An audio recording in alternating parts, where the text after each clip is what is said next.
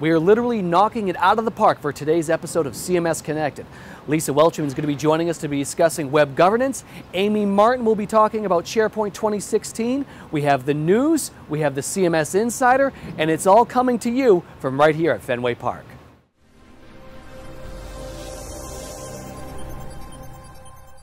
Welcome to the CMS Connected Show, the web content management industry's only news commentary show. I'm your host, Tyler Pyburn, and to my left, as always, my man, my co-host, Scott Liewehr from Digital Clarity Group, and we are coming to you today from the home of the historic Boston Red Sox, the most historic ballpark in all the world, except for maybe Except for Wrigley. Wrigley Field, your Cubbies. Yes, exactly. Except for that. Pretty cool little place we're at right now, though. Can we do it? the next one at Wrigley? No, it's really awesome. Yeah. I mean, this this environment is great.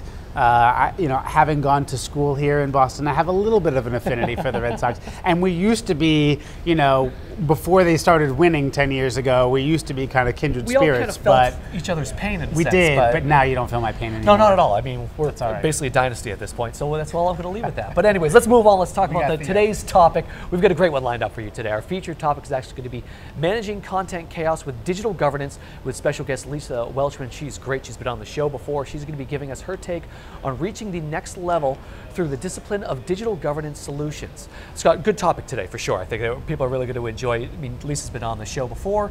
We've had some really good conversations, but I think today's topic in particular is, is a, a solid one. Yeah, and I think it's it's fitting that we talked about digital transformation the last the last week um, or the last month rather, Yes. and it's very appropriate to say one of the first kind of sub pieces of that is let's talk about how you get it done with the people and with the culture and the notion of governance because that really is the kind of biggest that has the biggest stranglehold on effectiveness of these transformations for sure. No question. Also joining us on the show just a little bit later, we have another installment of our vendor spotlight with Amy Martyn and her review of SharePoint 2016.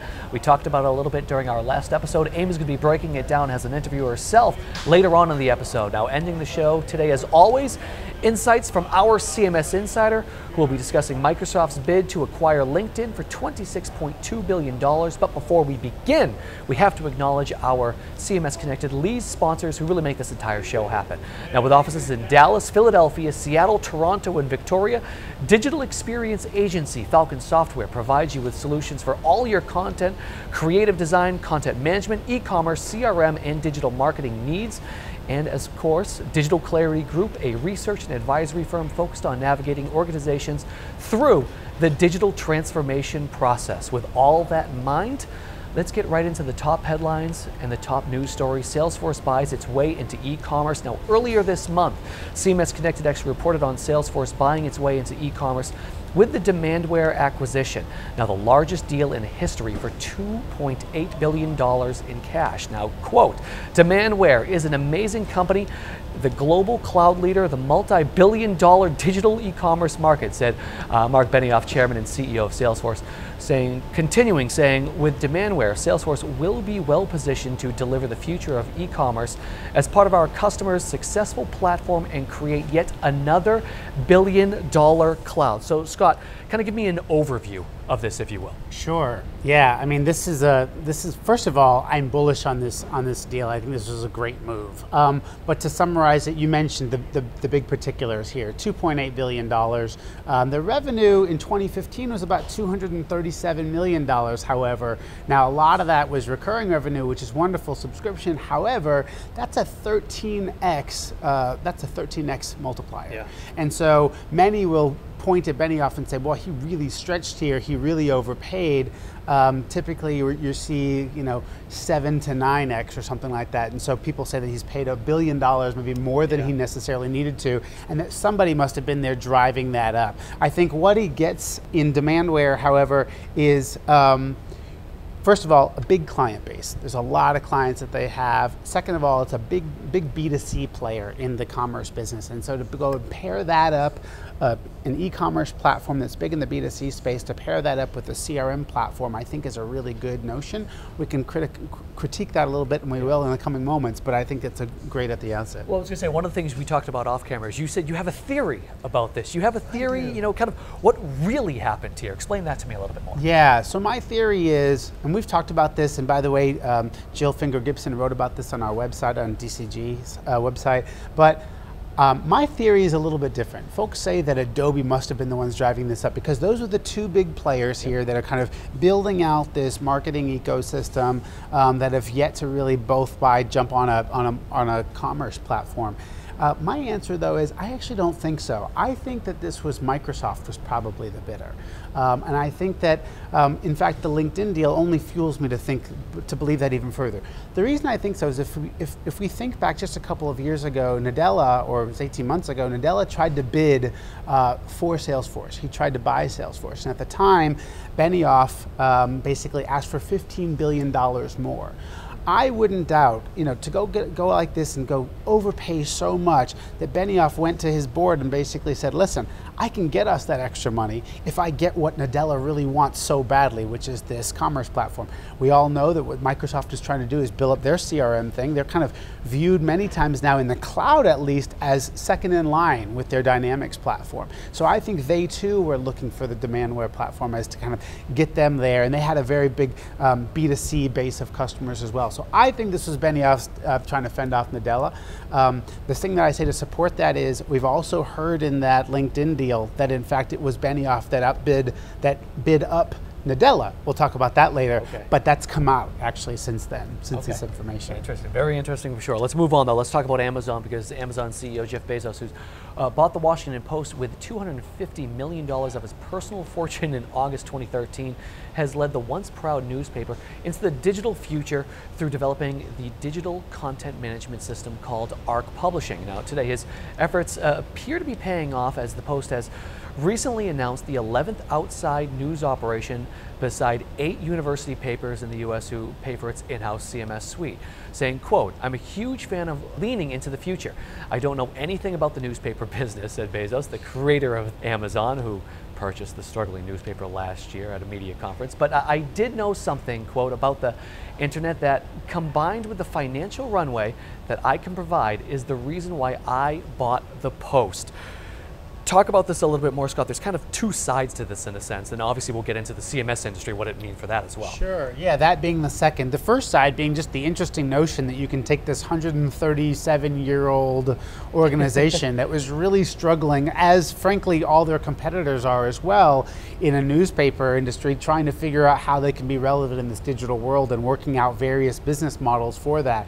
So the, I think the really interesting thing is here's a guy who admittedly doesn't know anything about this business, yeah. and I think think that's actually his advantage here, is coming in and saying, you know, I don't know anything about this, so all questions are on the table. I make no assumptions walking in. Let me go use data, insight, and the power of understanding what the audience is looking for by reading reading their cues that they're going to give us. So in fact what he's done is thrown more cash into this, basically he gave I think all Amazon's Prime subscribers six months of free access, basically because he wants to build it up, certainly to beat the New York Times, but also just to get a really good understanding of what does a new customer looking for from the paper. So I think it's I think um, the turnaround of the post is a really interesting thing to watch.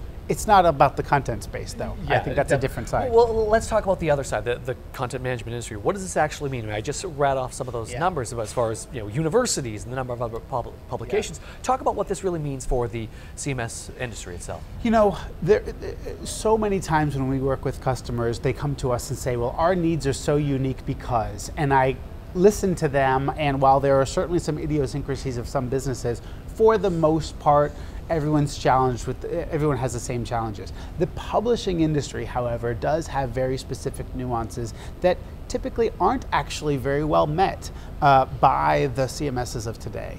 Um, they have some real challenges with, I mean, think about distribution and the notion of the, the, the business models that they have with ads versus paywalls and all of that, the varying revenue streams they have, versioning, just all of that. Um, they have some real challenges that it looks like his creation of this ARC publishing uh, custom platform um, and the fact that they've been able to kind of really get some good traction both within the with their own journalists but also with these as you mentioned 11 other newspapers i think in eight universities is a really interesting thing and it'll be interesting to see where he takes that certainly he can afford to support that for a while while it gets its legs under it to see if it can uh, push it out into the market we might be evaluating Arc publishing pretty soon i was going to say it probably is going to be evaluated very soon uh, the last question how much do you love him literally coming out and saying i know nothing about the newspaper industry but i know a little bit about the internet it's pretty amazing considering that he dominates the yeah, internet. Exactly. Absolutely love that. All right, let, us move on. There was actually big news in the content marketing industry this month as UBM, a London based global organizer of the B2B events and marketing, um, acquired the Content Marketing Institute for 17.6 million plus performance bonuses. Interesting stuff for sure. Now, the Content Marketing Institute is the foundation of content marketing industry launched by Joe Pulizzi, often nicknamed the godfather of content marketing. Scott, what does the acquisition mean for the future of Content Marketing Institute as well as the content marketing industry? I mean, I know you're very close to this, obviously. Yeah. Talk. Uh, really curious about your insight into this. Yeah, sure. So, I mean, I've known Joe since back when this was Junta 42, as he was is what CMI was. It was the predecessor, and certainly uh, we share. You know, one of our analysts is Robert Rose, who yep. is also the chief strategy officer here. So I know a lot about the organization. I've never worked in it though. Um, you know, I, I, think what Joe said actually as a part of this press release is right, which is that we still are kind of at the dawn of content marketing, which is amazing seeing how far it's already come when we were just defining it a little bit ago. Um, but you know, look, I'm just really kind of proud of what these guys have all done. Uh, their model, they went out and they found a topic uh, that, look, if you can anything, if you can get a bunch of marketers and passionate about something uh, and that becomes yep. the thrust of your business, you're going to do pretty well yeah. because you've got an awful lot of advocates out there let who are pretty push, good at advocating, right? That's what they yeah. do. Exactly. So that's what he did. And from the blog, which is just relentless in terms of its constant production of new and great ideas, which is hard to imagine that they're still going to have them, but through a group of people who are oftentimes only part-timers who are writing, you know, and providing content, through to their event, which has just really, I mean, just I don't know the numbers in terms of how it's multiplied, but it's grown significantly. Uh, and then he's actually made a couple of acquisitions of events, and it's just really been great to watch this. And Joe will stay at the helm for a while, and I know that it'll continue to thrive, and I'm just really excited for them. Now, let me ask you this: there are literally millions of blogs out there about content marketing. You can, Probably, yeah. I mean, tons of them. Can anyone rival them at this point? I mean, can anyone do you think can come up and actually start to compare, or are they just so much out in the forefront? Oh, look, I mean, uh, Joe is really passionate about content marketing. Um, UBM, I don't know how passionate UBM is about content marketing. So the degree to which they give Joe the freedom to continue to do what he does really well, to continue, to, you know, the degree to which they continue to embrace the brand that he has built so much. I mean, the guy only has orange in his closet. that's actually a true story. Um, not completely, but for the most part. Um, you know, Definitely. There's room for others to come in here. I don't know that anybody would try, though, to be honest, yeah. because they are kind of the kings of the hill. And to be honest, how big of a market can it really be? I mean, yeah. to say that there are a lot of blogs from it, they're not necessarily money making blogs yeah. or even attempting to try to make money um, per se. It's just something that people are impassioned about. And again, you get a bunch of marketers impassioned about something, and you're going to find a lot about it. Let them do the talking for you. Absolutely. Works, right. All right, let, us move on. Now, Berlin based uh, Contentful, the API driven content management developer platform, announced it has secured $16.8 million to help open up offices here in the US.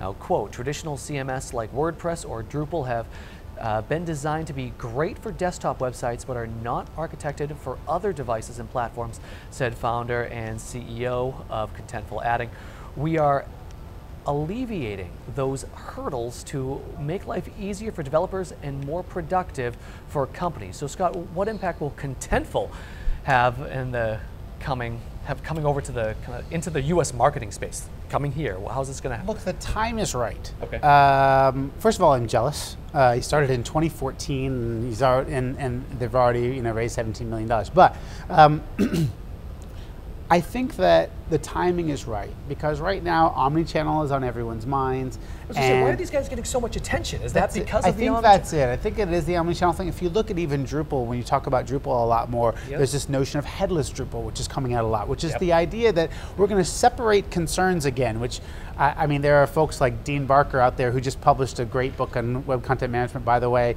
plug for him. But um, who we've been talking about separation of concerns forever, content from presentation, but kind of in the last seven years or so, these kind of baked, fully baked systems um, became much more in the throes and it became less about having this distribution notion.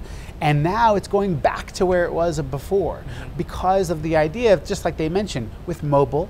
And you think about uh, devices like this, right, where it's basically any glass you're trying to put up on the idea of making content management easy before was how can we allow the person who's adding the content to work in the environment that's going to look like what they ultimately are producing, right? Which makes a lot of sense when you're just producing content for the web. However, when it takes its different forms, that actually becomes a hindrance because now you've created content in a way that fits really well on a web page, but it doesn't do well elsewhere. So what they've done is tried to tap into that idea. Um, and to be honest, many of the big um, big big vendors are trying to do the same thing now is go back to that idea I, I, I think though the challenge is developers typically are not the buyers Yeah. and so even you, you hear these kind of true content managers and content strategists talking about headless, but they don't yet have the buy-in of the marketer who's in the room, who has to be at the demo, who doesn't yet realize, oh, wait a minute, that means I don't get preview? Because you wouldn't in an environment like this. So there are some real kind of bells and whistles that have sold and made it, brought to the forefront that can allow line of business to basically make the buying decisions and be the ones using the systems. This takes it back a step, so I'm not so sure how that will fare.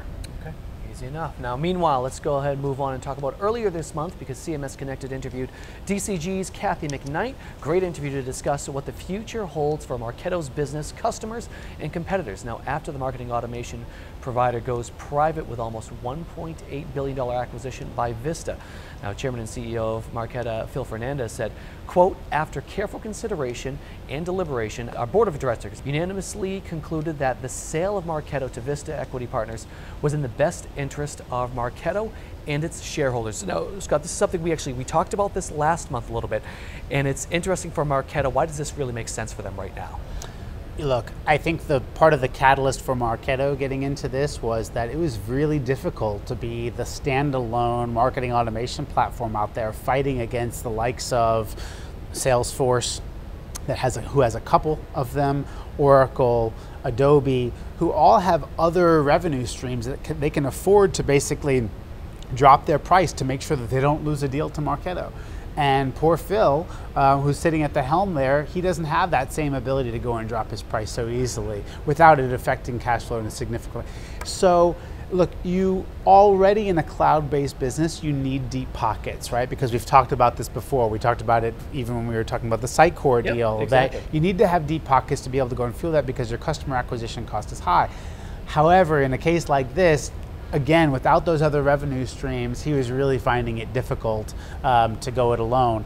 And the other reason why this makes sense is because, to be honest, there weren't that many buyers left that uh, are without a marketing automation platform that could even afford to go and pay this sort of money. I mean, two, $2 billion is an awful lot of money to go pick up a marketing automation platform, and really there weren't many players left to be able to go and buy it. So they had to go find private equity firm. So, how does this affect some of their current users right now? Some of the folks that are actually already using Marketo. Does this affect them at all? Look, uh, Vista doesn't have the greatest reputation in the world of its companies continuing to innovate. Um, they tend to kind of say we can make money by right sizing the, the organization itself a little bit, realigning the top, you know, the top, and maybe bring in their own people, um, cutting spend, that sort of stuff. So that doesn't usually say a whole lot for innovation.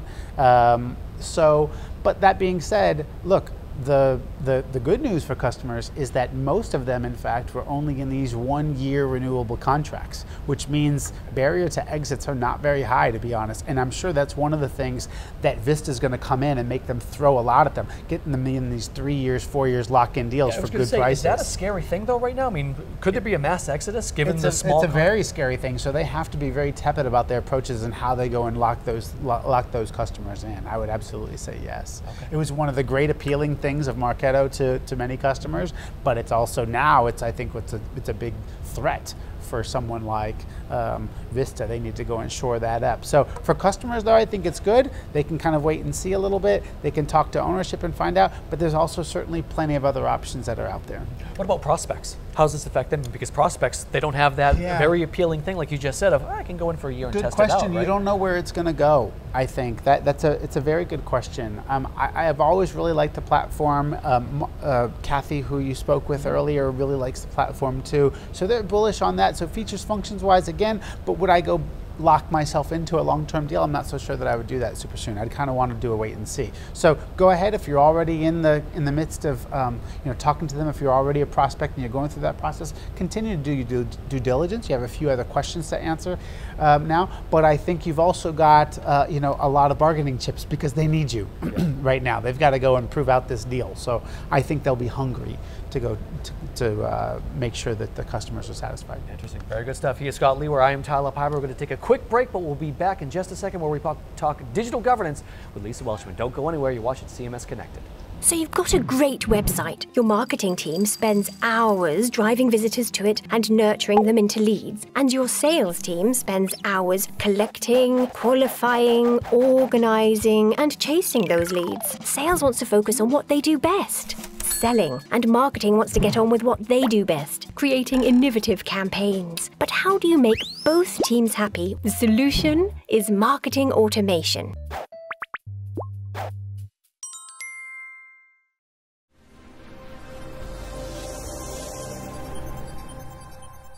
Welcome back to the CMS Connected Show, the CMS industry's only news commentary show. I'm your host, Tyler Pyburn, along with Scott Liewehr from Digital Clarity Group, and we are coming back to you from the oldest ballpark in Major League Baseball, Fenway Park.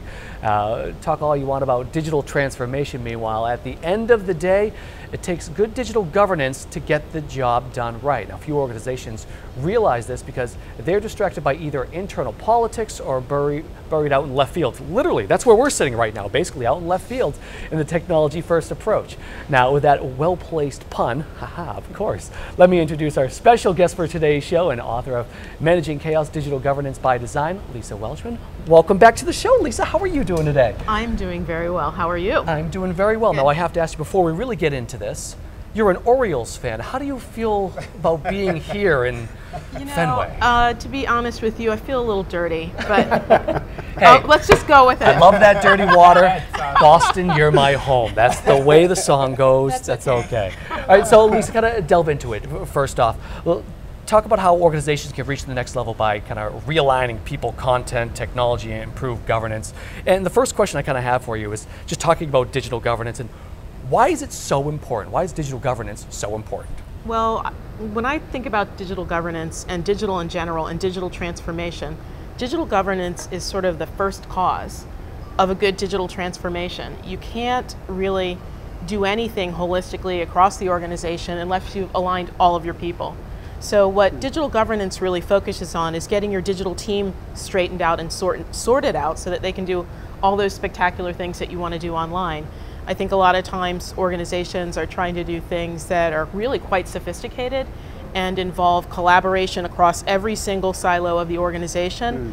but they have no idea who those people are, how they work together, and they're just not aligned around a common strategy. So digital governance really helps pull that all together. And then after that, you can sort of do whatever you want. Hmm. I mean, it's uh, it's so funny. We we constantly talk about this idea of digital transformation, and I'm I sat with a group of CMOs last week who, by the way, I don't think are at the helm of digital transformation necessarily, um, but the biggest struggle that they all have is the culture issue, is the people issue, right? And so I think everybody recognizes that this is something. You mentioned though, you talked about the digital team how about the fact that transformation though permeates kind of throughout the entire organization? What what's the kind of role of that digital team versus kind of us trying to establish governance mechanism across, since it affects everyone Sure. and we're becoming a more digital organization? The role of can you talk about the role of the digital team versus kind of the rest juxtaposed to the rest of the organization? Sure. Well, there's two things about that really. One is that the digital team's actually much larger Hmm. than people think. When everyone says digital team or web team or whatever. Right. it is inside of an organization, they're usually thinking about that central group of people that get in trouble if something goes wrong online, Mm-hmm. right? There's somebody that you can kind of point to that are the ones that get in trouble, and they can, you know, wave the flag and say yay if something goes well, um, too. But the digital team is really quite extensive. It includes that central core of people that are sort of the enabling arm. They set the policies and the standards and the strategies. They set up web content management systems and all types of horizontal collaboration platforms and anything that's sort of like the underlying technical stack that supports mm-hmm. digital mm-hmm. content strategy. Any of those things that really have to be comprehensive taxonomy you can list them on and on. But then there's also another layer of the digital team which is your distributed team. Mm-hmm. That aspect of the team are just sort of makers they're people who are out in various business silos they might be making mobile apps managing content, authoring content, doing all sorts of things that usually make that central team really annoyed because they're they're the ones that might sort of go Off off the the ranch and Yeah, yeah, yeah, and do their yeah. own, do their own thing, but they're also part of the team. Then you've got all these working groups that spin up around you know various standards groups or projects or any sorts of initiatives that might happen. You have groups that spin up around figuring out what the digital budget is. Hmm. There's all these sorts of executive level to tactical level horizontal groups in the team. And then even beyond that, there's your extended team, which is really um, you know anyone outside of your organization that somehow enables digital. And so that could be a vendor who's implementing your content management system. It could be an interactive agency. Some people almost completely outsource production of their website to an extended hmm. team with a small core. So hmm. I think that's the thing that people don't understand. It's a huge team. And if you don't know who these people are, there's no way you can communicate to them. Right. And so that's really an important piece. Gotcha. That makes a lot of good sense. Now, with that in mind, so given the place that we're at right now, let's talk about baseball in general. When we talk about like Major League Baseball, to me is a really interesting kind of case study right there because you've got you're dealing with 32 teams, you're dealing with all of their minor league teams and all of these teams that are continuing to publish content. Where do you start in something like that when an organization is so broad and so deep? Well, that's really interesting because when you use an analogy like Major League, League Baseball, it's actually a really quite interesting one because there's that, you know, central hub of Major League B- Baseball, and there's certain rules and regulations that you have to follow if you're part of that entity.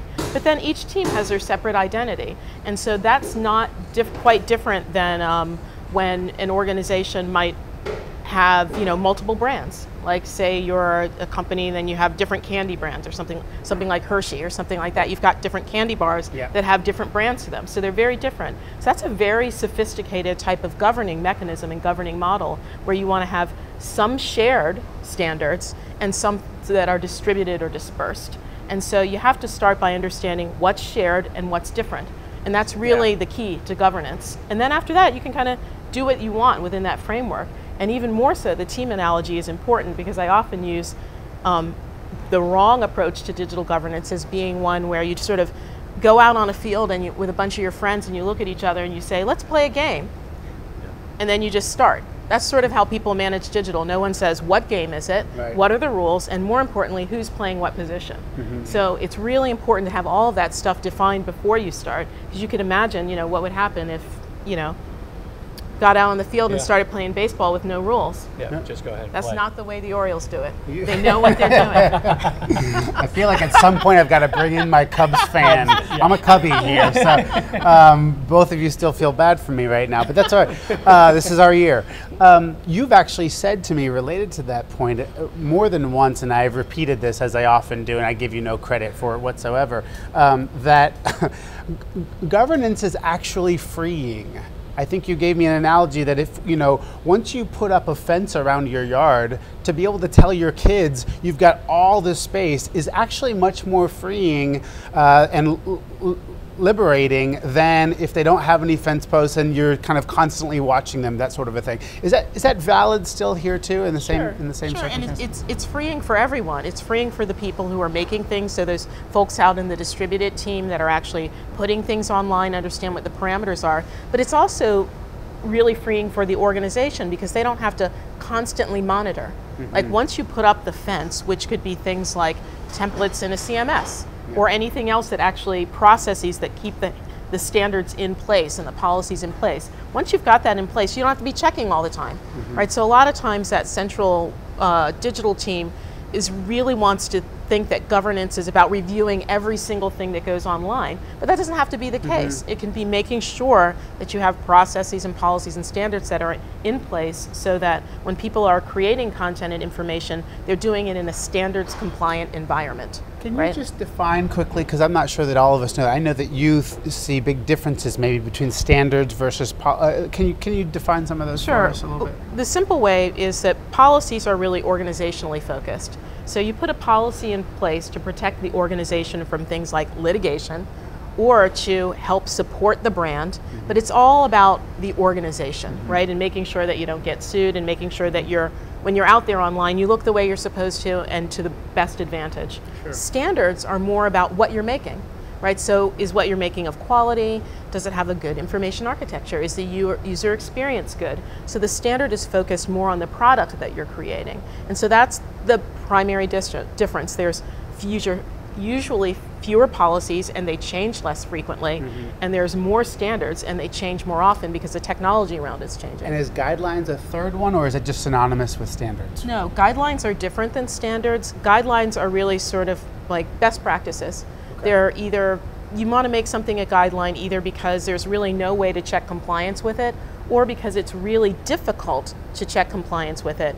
Things for content people, that's like voice and tone. Mm-hmm. So you might have a recommendation and say, we want to sound friendly, mm-hmm. um, we want to be easy to understand, but how do you really check for that without looking at every Yeah, single line? Something like that's not even feasible, right? When we get Right. to the scaling up But part. you want to write some guidelines so that, and then you want to hire well, so that you've got guidelines and then people who do their job well, and then hopefully you'll get in the right direction. Mm-hmm. So you brought up Tyler. You brought up the analogy to baseball, which is fitting, of course. But I actually thought you were going in a little bit of a different direction. Where I'd like to ask you about this, Lisa, is digital transformation. Folks see so much as this undercurrent of data, which is now in such vast abundances within organization. And given the Moneyball scenarios, Yeah, where I thought you were going with the baseball thing, but how much it's changed given all of this access to data, folks. But but there is still when when we when I've run groups as I was in Austin last week, ran a group, and it was specifically talking about well the challenge they have is who owns the data, how do they align that data, um, you know where does it reside? Is it the, is it a similar problem to content? Do you see it as different? Uh, is it the same solution from a governance standpoint when it comes to data, or no? What are your thoughts about that? I'm stretching a little bit. I think there are some similarities, and I can maybe talk about them separately. The, the data piece is really interesting because honestly, when it comes to data and tangential, tangentially digital analytics as well, mm-hmm. I, I just think organizations are quite immature. Mm-hmm. and it's mostly because they can't get their hands on it. Most people, I mean, so you don't even know where your digital team is. You know where your systems are, but there's no consistency about how the data is gathered, how it's aggregated. Right, it's definitely. very hard, and it wasn't the data being gathered was not architected as a system. So I think there's just a really, really long way to Yeah. go with that piece. And I think people can do sort of backwards analytics and look at data sets and claim to have some conclusions about things. But um, I think it's going to be, you know, another good 10 years before Yeah. we really start sort of doing that because you need to engineer for that data. I would imagine that's a near front, near-term frontier for digital governance. Has got to be getting your arms around that, or helping organizations Sure. to kind of tackle that problem. Sure, but you need to get the people straight first because they're the ones that are Absolutely, yeah. putting There's the systems fiefdoms together. and hoarding Yeah, yeah. and It just alignment priorities. that's If they're done required. And doesn't matter. and, and a strategic objective. I mean, there's a plethora of data out there that you can actually gather and look at. But what's important to gather and look at, right? You have to know what that is. On the other hand, content's been around forever. And there's a lot of content online that used to exist in a print format that's mm-hmm. been put on in PDFs. It's just there's unstructured content, structured content, content that's almost data because it's so particular. And so that's a really interesting component of it. And I think what's interesting about that for me is you have people who treat content as a narrative text and then people who create content as data. As data. And I think those two arms really need to move together. And you think about that a lot in the content marketing space Sure. of just Yeah. how do you push these things together and actually get to action that. And you have two different types of players on the team who are working with that. There are people who want to look at data and people who look at content as storytelling. And so if we can pull those two pieces together and get them to understand that there's an alliance, right, and that it's not a competition, then I think Sure. we'll be working well. I'm with you. I'm with you. Right, let's talk about uh, content ROT actually, and how does better governance actually support the elimination of content ROT? So ROT, rot, redundant, outdated, trivial content. We've all seen it before. We've all run into it online. And I think the single one thing that good digital governance helps you do is it, it takes you towards content governance, which is really sort of a, a subset of any type of corporate governance, which lies around actually the care and feeding of actual content and the team around the content.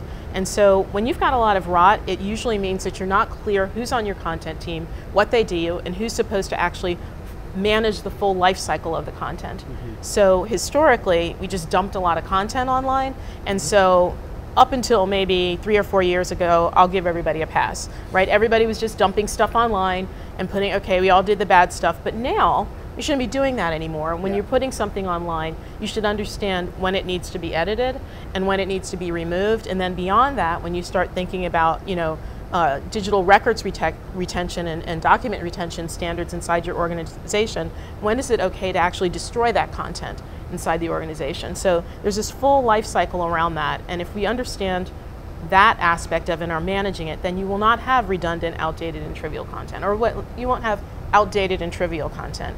Redundancy actually comes out of the silos, right, where you have different Sure. aspects of the same business doing the same thing over and over again because they're disjointed.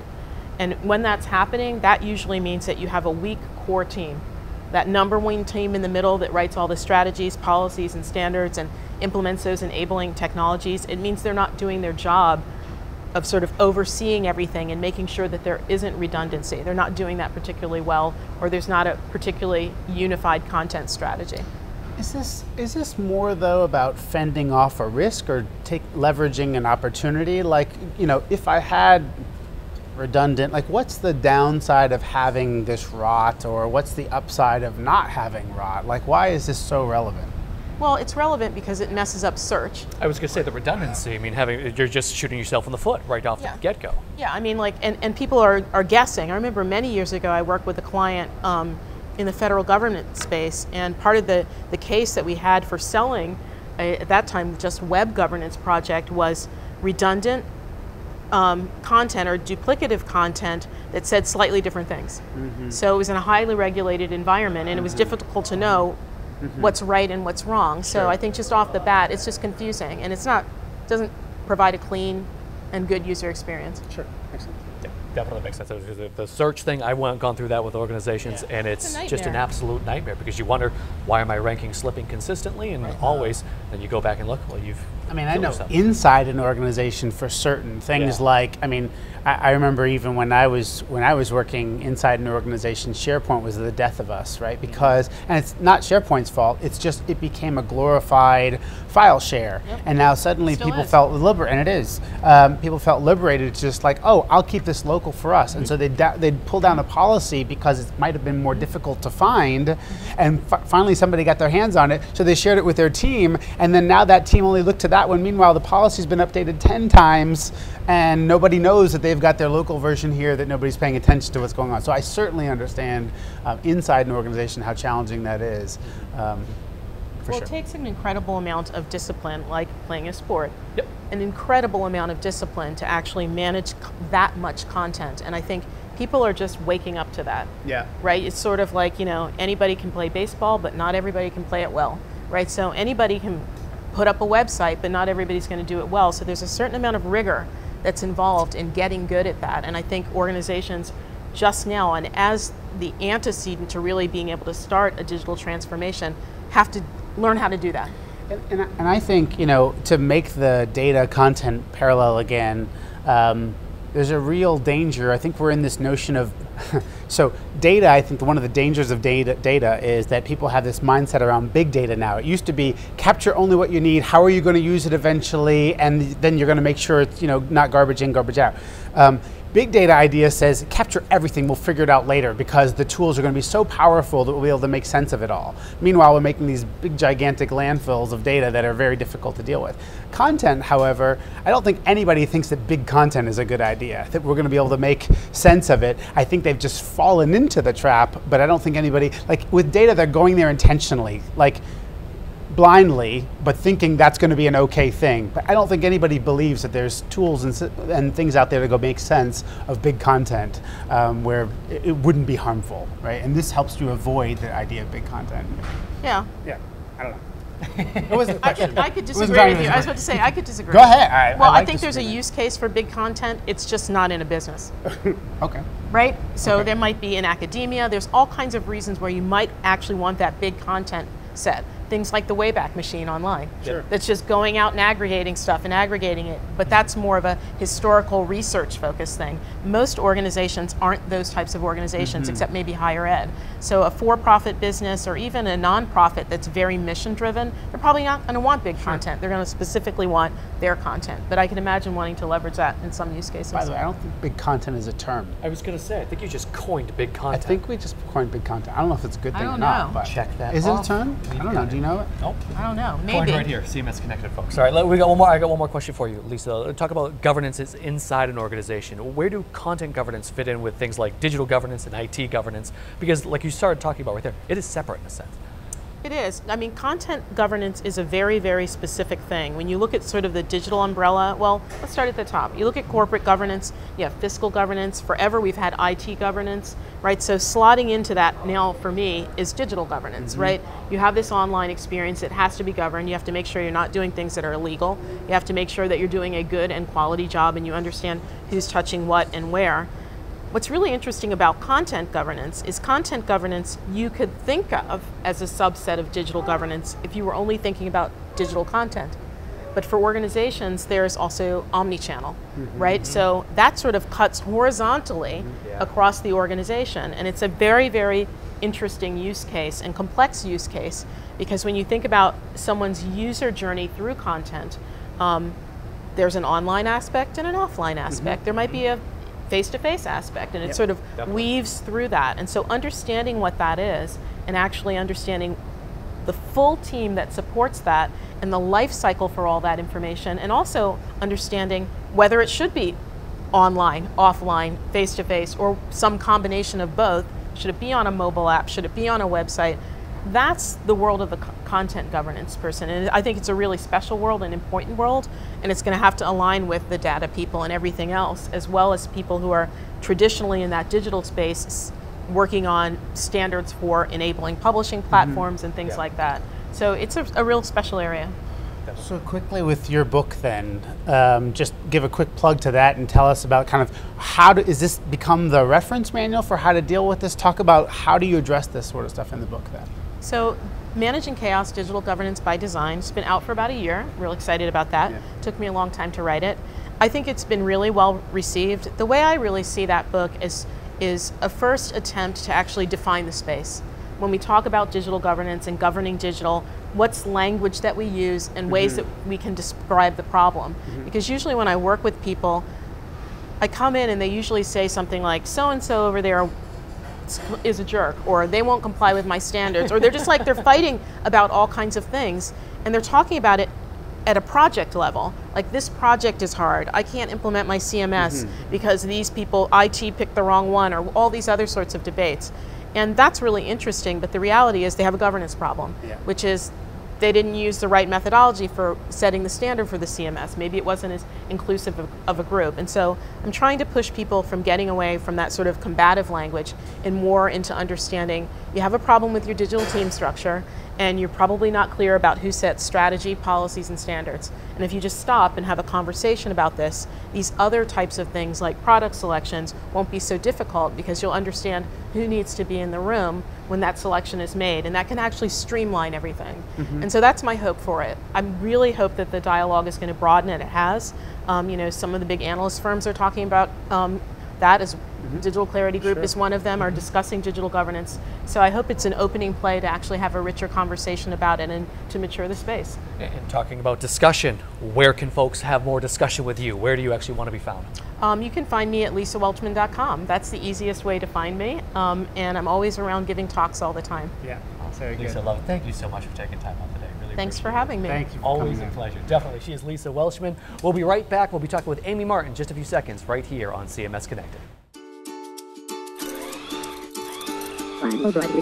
Your job is to cut through the noise. To succeed, you need to reach out to your target audiences in real time with messages that speak to them.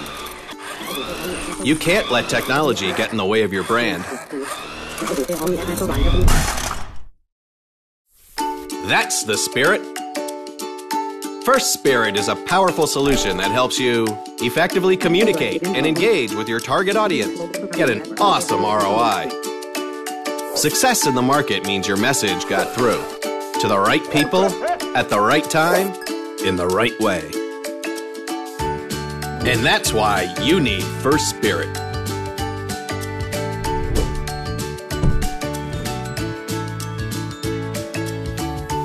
Get started with digital marketing. Visit www.espirit.com now.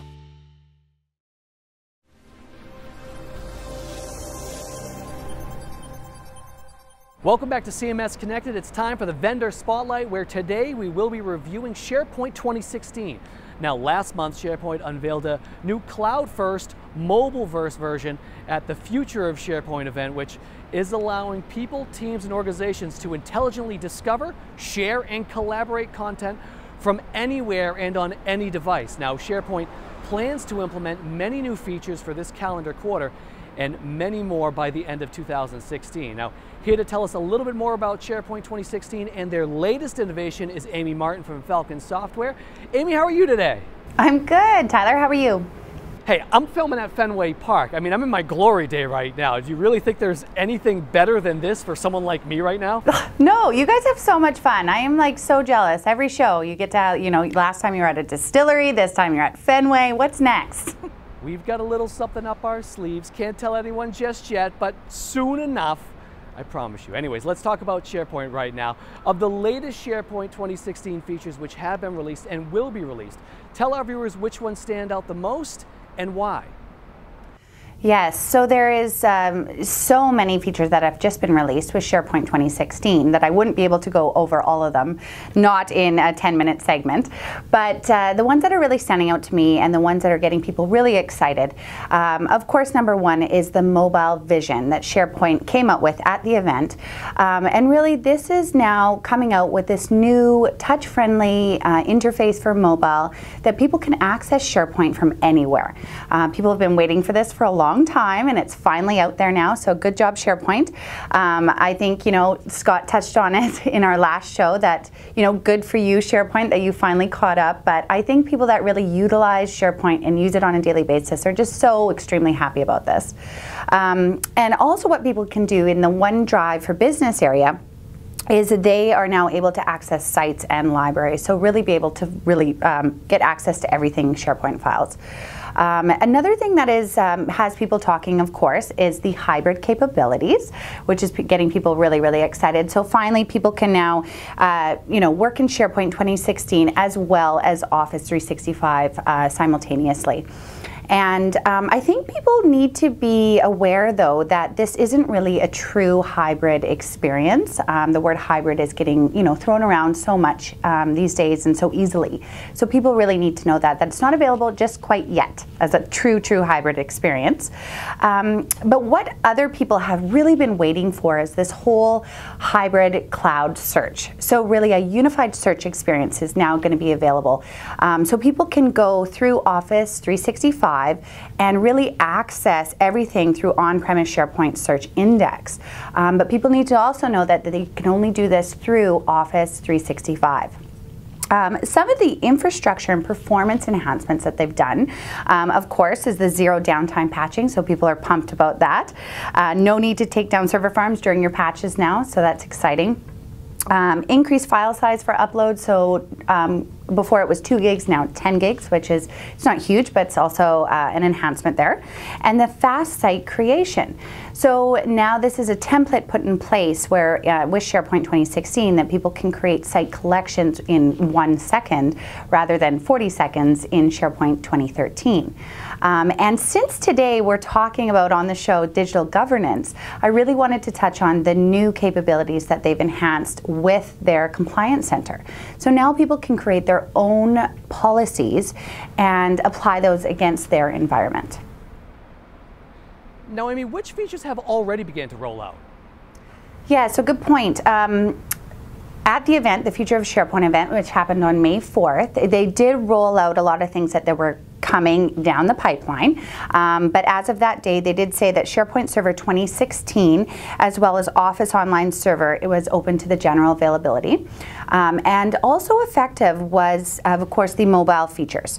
So everything for OneDrive for iPhone and iPad, uh, seamlessly you can share and edit. Um, also the new Discover feature through uh, web and Android. So people can now share collectively and edit and everything through their, their mobile devices, which is a big part, which I had mentioned, but also to minimize the search time and also they're getting recommendations through Office Graph.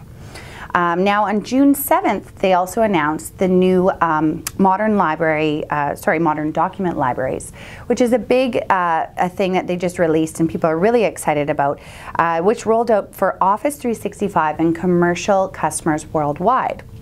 Now, what I really like about this is the fact that it's offering um, a unified customer experience now through OneDrive Consumer, OneDrive for Business, and SharePoint document libraries. So very consistent user experience. Um, they're offering also a new display for folders. They're also offering, um, you can access YouTube and put links and uh, outside sources throughout these folders to keep them in your team sites. And um, they're also offering templates. So you don't have to start from square one with your Word documents and your PowerPoints. Uh, so that saves people a lot of time. But I think, you know, the game, the thing that people are really excited about, of course, is the fact that you can import files from other libraries. Um, and this also became available for education customers as of June 21st. Um, and, but the thing I think is really a game changer for SharePoint, um, and I really got an amazing quote from a fellow in New Zealand, and his, his name is Michael Sampson. He's a SharePoint activist, and he also believes that the game changer for SharePoint is really going to be within Office Graph. And it's already started, and it's really exciting that you know the system, the machine, is becoming smarter than the individual, which is giving you highlights of things that you can work with your projects that's relevant and can complement your projects, offering those recommendations to you.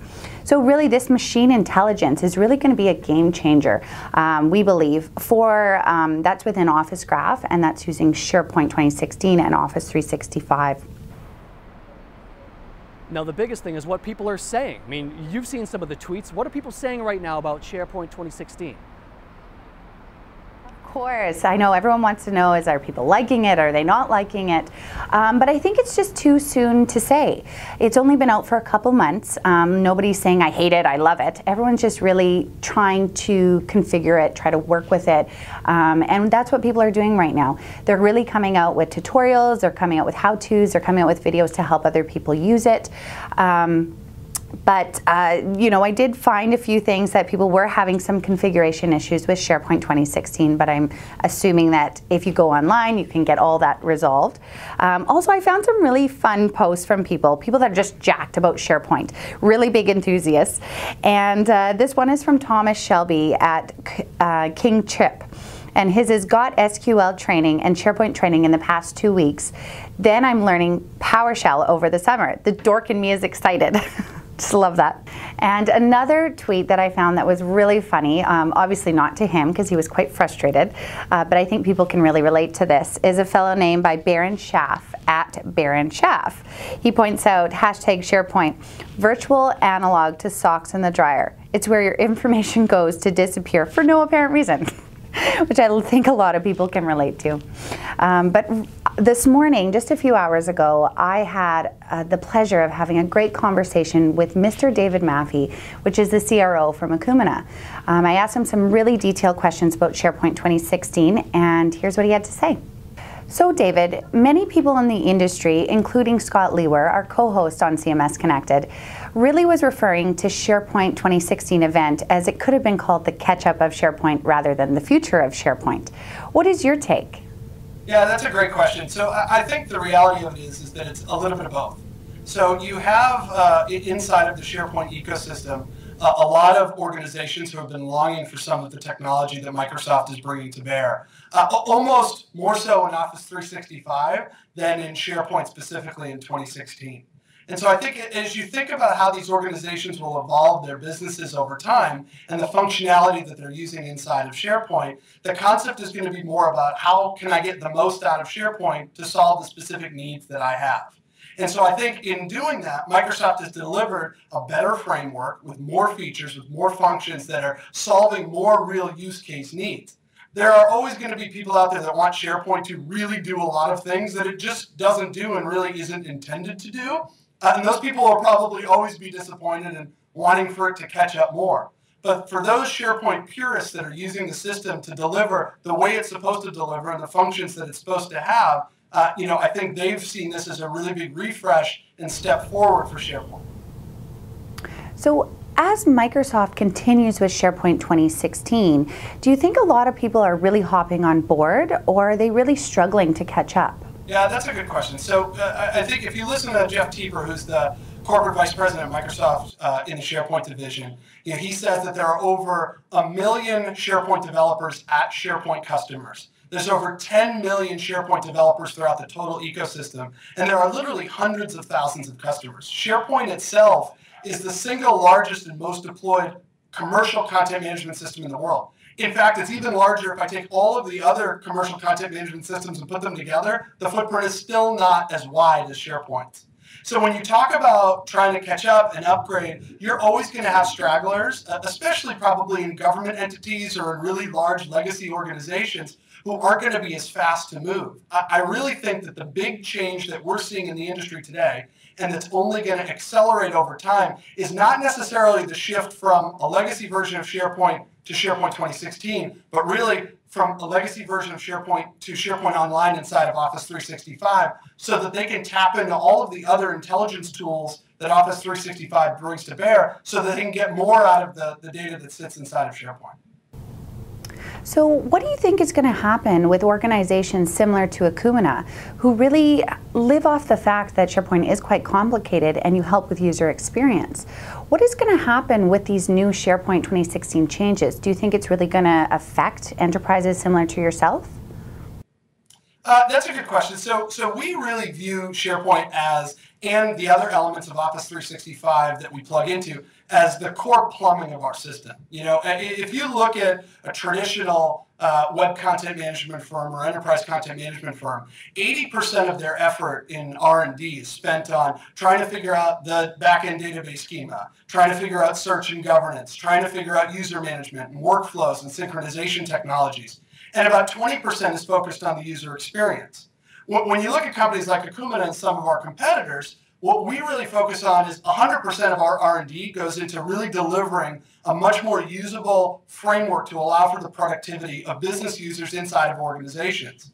So we let Microsoft focus on delivering that 80%, and we focus on delivering 100% of ours as UX. And, and by doing that, what we're ultimately saying is, is that as long as Microsoft continues to evolve SharePoint and mature SharePoint, we're getting better plumbing.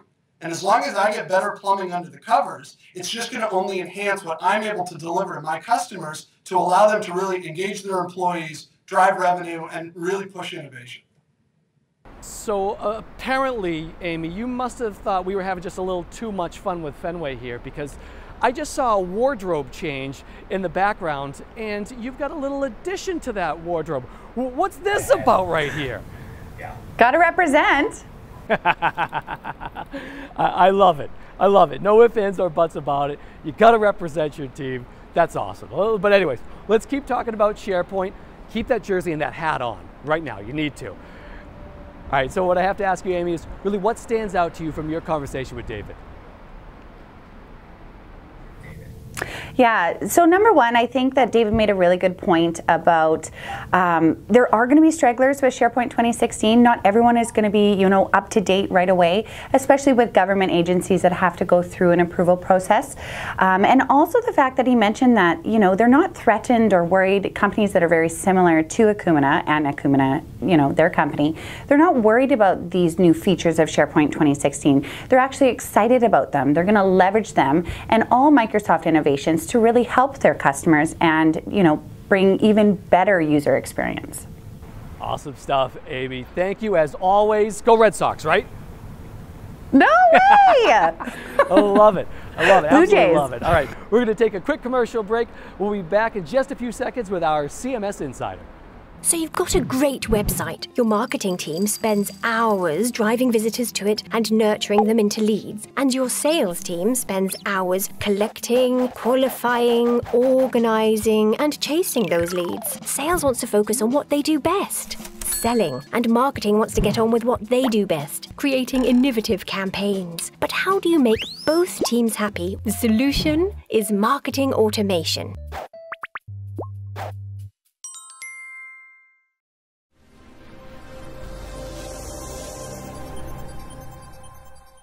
Welcome back to CMS Connected. I'm Tyler Pyburn alongside Scott Liewehr. And Scott, time for the CMS Insider. But first, we have to acknowledge where we are. I'm a baseball guy.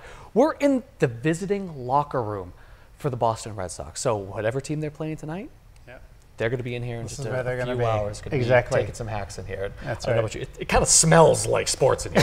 It? it has that kind of feeling. It's a good thing the video hasn't gotten yet to the, the ability of exactly providing the essence of where we are. But no, no, this is pretty amazing that these guys are in here taking batting practice uh, just later this afternoon. Yeah. It's So pretty what's interesting? That's why it's so quiet in here too, so the guys can literally just concentrate on hitting. So pretty cool for the the final segment here on today's show. So let's get in. And let's talk about what exactly we are in fact going to be discussing. Now, Microsoft recently announced that it has agreed to acquire LinkedIn with some 433 million users in an all-cash transaction for a jaw-dropping price of 26.2 billion dollars. A very bold move by Microsoft, as the deal is its largest acquisition in the history of the company, and the price is 7% of Microsoft's current market cap. Now, according to what Microsoft said after the acquisition, LinkedIn CEO Jeff Weiner said, uh, report to Microsoft CEO uh, Nadella, but LinkedIn will continue to operate independently and will retain its brand after the acquisition. So, Scott, interesting to say the least. Does this make sense right now? The I mean, just give me your thoughts on this acquisition. We'll kind of get into it.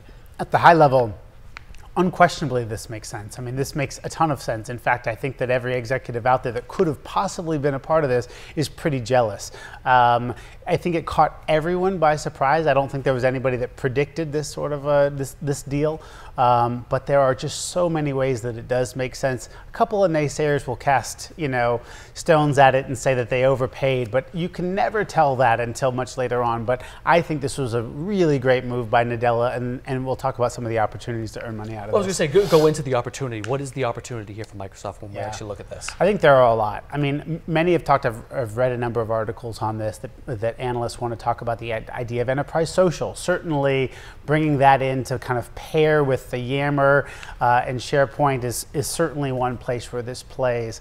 Um, you can look at the media and the publishing business that LinkedIn has started and have been very successful with, not making money out of it, but in terms of getting authors and getting content, it's been really good for that, in fact. Um, but the point that I think is one of the most interesting um, is the idea of the kind of data as a service and the services model, uh, Tyler, that, that this brings. I think it's really, really, really a big opportunity for them. I was going to say, go into that a little bit more. What do you exactly do you mean by data as a service? Because I mean, we talked about data with Lisa. We've talked about this on a consistent basis. Explain that a little bit more to me as a service. Sure. So, first of all, I think everybody understands that both software and hardware eventually become commoditized, right, over time. And that means with the likes of y- just, I don't need to explain that here in this segment, but it, it becomes commoditized over time. Um, and if a company like Apple realizes that software and hardware becomes commoditized, then certainly Microsoft realizes that painfully so. Uh, but Apple even announced at their Q1 announcement that they are basically they are, they are a services company. They want to be viewed as a services company, thinking about iTunes and the App Store and Apple Pay, all of these ways of capitalizing on the data that's there and being able to create a services model that doesn't have to essentially um, kind of eat itself as you can only replace your own products as opposed to being able to expand your market in a way that you can with services and have that kind of drive revenue with you. So what I think they get in this is if you think of the idea of um, the data and rich data that you have in LinkedIn and pairing that with things like Microsoft Dynamics now that they have, which is their CRM engine, and to be able to kind of capitalize on both of those, that you have this access to data that's available. Every single salesperson out there has a window for LinkedIn open anyway, looking at all that information. To be able to capitalize that, pull that into a product, and make a real kind of services model out of that, I think is really compelling.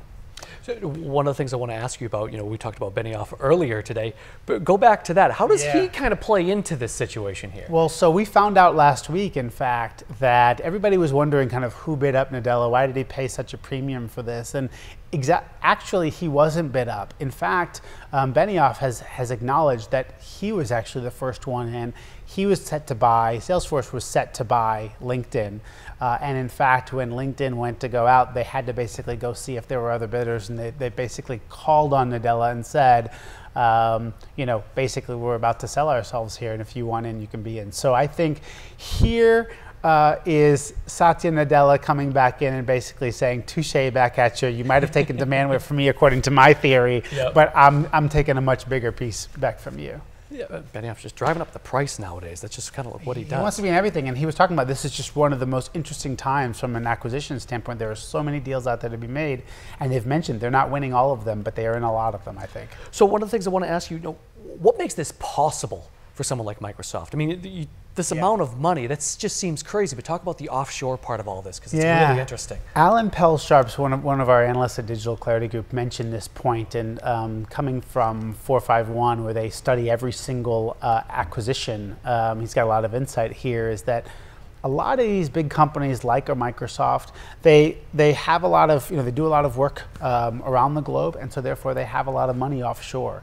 And quite frankly, to repatriate that money costs them a whole lot of money in taxes, right? And so, in fact, this becomes a really great a company like Microsoft that has billions and billions of dollars offshore right now and can't really put that to use in a way to be able to have an acquisition like this. Even if you have to pay a premium, quite frankly, it's better than paying the tax that they would have otherwise paid. And so they actually don't really um, realize from a net standpoint the, the premium that they ended up paying. It becomes a cheaper way, in fact, for them. So correct me, this seems kind of like the perfect kind of one-two punch, perfect combination, right? I mean, am I wrong in saying that? It just seems like everything in here is just perfect, really. Look, I, I think there are again many ways to make money. Think about the media side. Think about the ad. Uh, you know, somebody pointed out. I, I wrote a blog about this on on on both our website, but also on LinkedIn. Uh, Go figure, right? Sorry.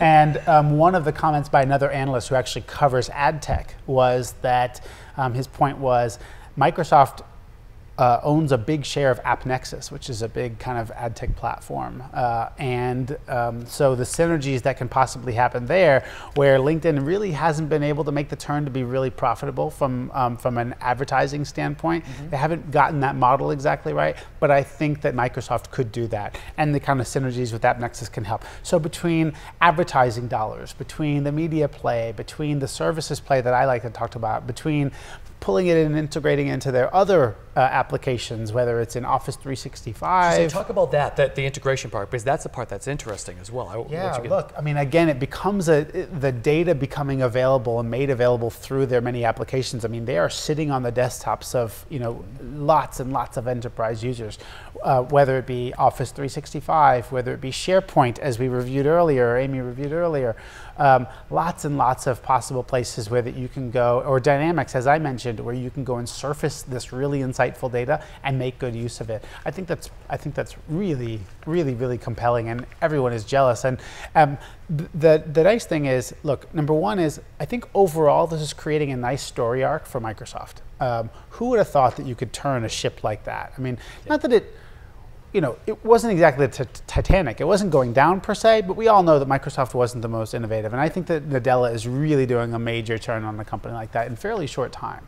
Um, that's, that's one thing that's really nice about this. And um, I, I think that everybody knows that LinkedIn is a kind of a major player, has a lot of data that everybody wants access to, and now that they own that, um, and the fact that Satya has actually had the, the LinkedIn CEO is going to report to him, but apparently it's still going to run as a business. It's going to keep its own brand, uh, and I think that's also um, great for those. Uh, LinkedIn employees as well, that they know they're going to be able to continue to innovate, fueled by the purse strings of a Microsoft, um, where quite frankly, look, uh, a lot of them were being paid. I saw this as an article last week. A lot of them were being paid in stock incentives, and um, when their stock has taken such a hit, uh, it was kind of hard to figure out um, if these guys are going to stick around or not. So anyway, I think there's a lot to, to in this deal. It makes a lot of sense for both sides for many reasons. Very cool. Perfect stuff. Scott, uh, I think uh, today's show. Pretty awesome. I'm sorry to say that. Great content. Lisa was great. The fact that we're here, I mean, we're sitting inside the, literally they're going to be taking BP behind us shortly. I mean, this is one of the. we should get out of the way for that, say, by the way. But yeah. So we got to go. We got to get out of the way. So that'll do it for Scott and I today. Uh, make sure to catch our next episode because we do have another fantastic location just lined up. Can't let you know where it is just yet, but I promise you, you're going to love it. You definitely will. And you can also find more about upcoming episodes and watch previous episodes on our website at cms, cms-connected.com. Obviously, we have a lot of great breaking news on there as well, so make sure you go and take a look at that. Four, big thanks again to our sponsors, Digital Clarity Group, as well as Falcon Software, for putting on this show and making this entire thing happen. Big thank you to Amy Martyn, as well as Lisa Welchman, and of course, for Scott Liewehr, I'm Tyler. But until next time, we say get connected, stay connected, right here on CMS Connected.